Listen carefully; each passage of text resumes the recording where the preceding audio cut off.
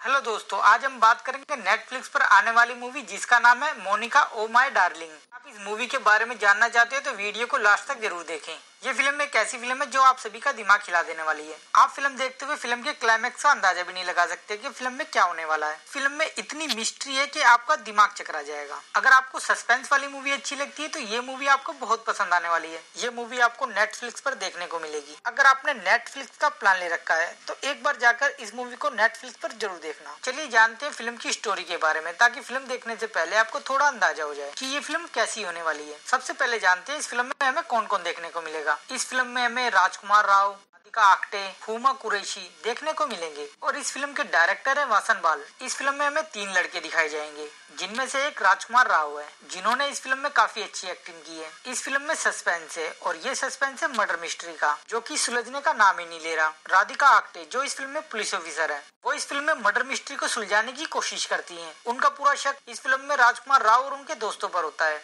ये फ़िल्म तीन लड़कों और मोनिका डार्लिंग पर है। मोनिका डार्लिंग के रोल में आपको हुमा कुरैशी दिखने वाली है। इस फ़िल्म में मोनिका डार्लिंग इन तीनों लड़कों को ब्लैकमेल करती है। ये कहकर के मेरे पेट में तुम्हारा बच्चा है। ये सुनकर तीनों लड़कों के पैरों के नीचे से ज़मीन निकल जाती है और ये तीनों लड़के बहुत ज़्यादा घबरा जाते हैं। सोचते हैं इस मुसीबत से कैसे छुटकारा पाया जाए। तभी ये लड़के कुछ प्लान बनाते हैं, जिस प्लान में लड़की को मारकर उसकी लाश को ठिकाने लगाना चाहते हैं। यहीं से फ़िल्म में सस्पेंस स्टार्ट होता है। जिस लड़की की लाश इस फ़िल्म में दिखाई गई है, वो लड़की ज़िंदा होती है। फिर ये तीनों लड़के सोचते हैं, जो लाश है, वो किसकी है और इसे किसने मारा? बाकी राज तो फ़िल्म देखने के बाद ही सुलझेंगे। इस फ़िल्म के करेक्टर इस के लिए काफ़ी परफेक्ट है। और इस फ़िल्म के लिए सभी ने काफ़ी मेहनत की है, जो इस फ़िल्म में दिखाई दे रहा है। सभी कैरेक्टरों की एक्टिंग की दाद देनी होगी। इस फ़िल्म में सभी ने काफ़ी अच्छा काम किया है। मेरी मानो, आप इस फ़िल्म को जाके एक बार नेटफ्लिक्स पर ज़रूर देखना। वीडियो अच्छी लगी हो तो लाइक करें कमेंट करें। और अभी तक आपने मेरा चैनल सब्सक्राइब नहीं किया तो प्लीज़ सब्सक्राइब कर ले, ताकि ऐसी न्यू मूवियों की अपडेट आप तक पहुँच सके।